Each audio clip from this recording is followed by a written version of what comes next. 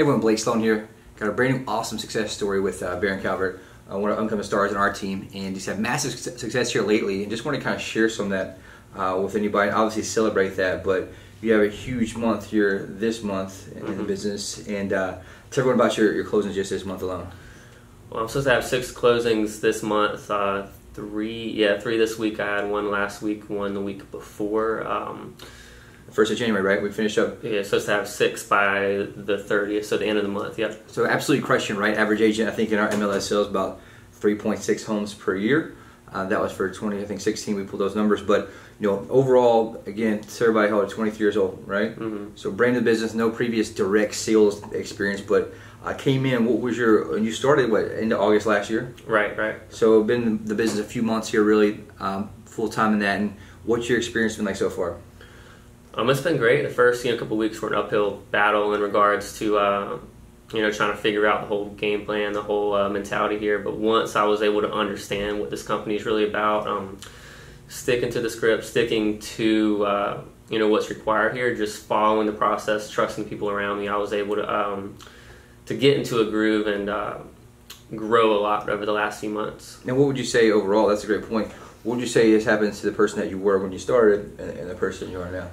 Um, I think I've grown a lot, matured some. Um, it's, it's, like I said, it's completely different from what I'm coming from in the past in regards to sales. I worked retail, retail management, but it's nothing in contrast to real estate. Um, had a ton of questions from the get go, but had Blake's here, uh, you know, Dan, Jeremy, several other uh, people there to guide me along the way. But basically, just doing the work, you know, trusting the people around me, um, and getting their advice. Um, and so, like, what would you really helpful?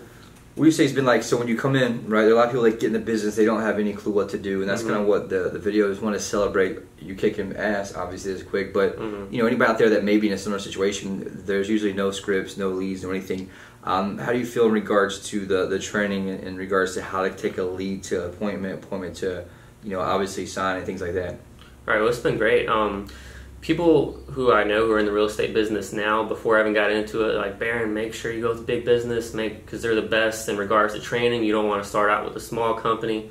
I kind of thought of it opposite. I don't want to be with a big company that has a hundred different people in their one office. I didn't feel like there'd be a whole lot of uh, you know hands-on experience or training in that regard. They might have awesome programs, but not something that I was really uh, looking for. I wanted something uh, you know smaller, maybe able to have my own um, you know office space and be able to uh, build that way, I guess. What do you think about the training so far? What's it been like in regards to sales training, real estate training? You know, what's it been like? Have you had to just you know wing it, or do you find as a direct system that you're able to follow?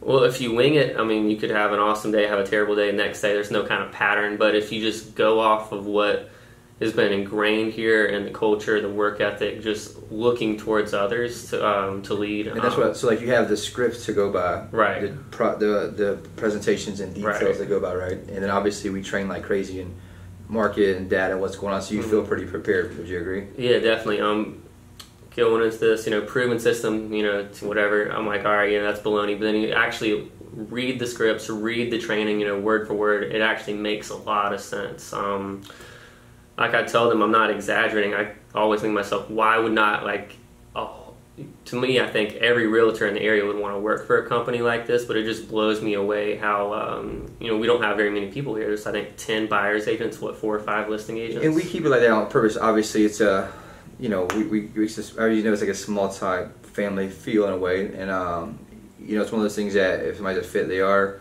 Obviously, people tend to like, they'll have to call over and over sometimes to get through. Mm-hmm. We're obviously going to open that up here in the future, but more importantly, I think you made a really good point where a lot of people think that some of that is is baloney or whatever, right? Mm-hmm. But that's a learning opportunity for me because you know it's serious, right? It's step by step exactly what it is, blood, sweat, and tears for a long time goes in that, and that's why I find most people fail. Like we were talking about even today, average box, big box uh, closing happens ten months once they're in, in the business. And it's terrible to watch people come in, get out of the business, and move to something else who probably could have made it with the right talent, right? Because you know, we talked before, you're at a huge disadvantage initially being younger in the business. Mm-hmm. I was the same way when I started.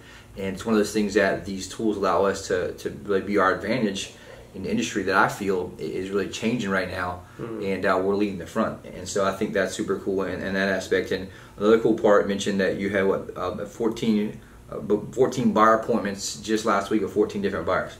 Correct. Yeah. And yeah. so, would you say there's a shortage of leads or a plethora of leads here? Uh, it's, it's definitely a plethora. I gotta um, balance it out sometimes, make sure I'm dedicating the right time to everybody because uh, I know that's different from a lot of other companies, but I have to, you know, basically schedule everything apart. Otherwise, I don't have the time to keep up with everybody. That's what I ran into the last couple months or so. And all the leads, right? I think. Right. Yeah, it's a huge, huge bucket. We have a massive, thousands and thousands and thousands of extra leads there uh, that are quality and great, and our job is to service them, follow back up. But I think you put like 24, 25 in yours last week on top of the hundreds and hundreds you already have. And so um, that's one thing that we're super excited about. Obviously, him crushing already, six closing this month, um, you know, scheduled, and some of them already closed. So big congrats on that, and uh, we'll see you next video. All right. Sounds good. Thank you.